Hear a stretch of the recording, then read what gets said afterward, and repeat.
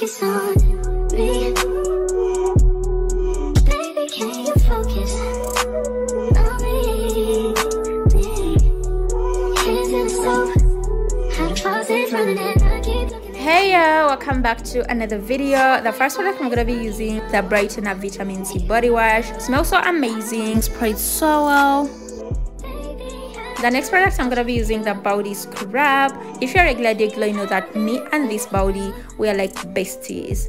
It has most particles which nourishes your skin. And if you're a person dealing with an even skin tone hyperpigmentation highly recommend this product. Makes your skin so soft so glowy hydrated. You know those scrubs you use and you come out of the shower skin is so dry? This one is not one of them. And if you haven't subscribed make sure to subscribe to the channel like the video and leave me a comment down below. That's all about body care and i'm gonna be jumping into my skincare. This is my favorite part like my skin looking like soaked in butter. That is my favorite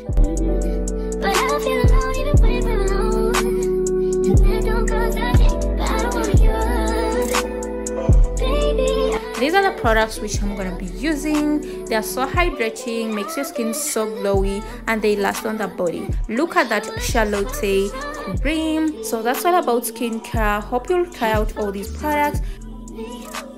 Now i'm gonna be having my gummies make my smoothie and for breakfast i'm gonna be having pancakes. That's all about the video. If you haven't subscribed make sure to subscribe like the video and leave me a comment down below. See you in the next one on private jets, taking trips. Come back at six, wake me and your child And it won't lay today, make me wonder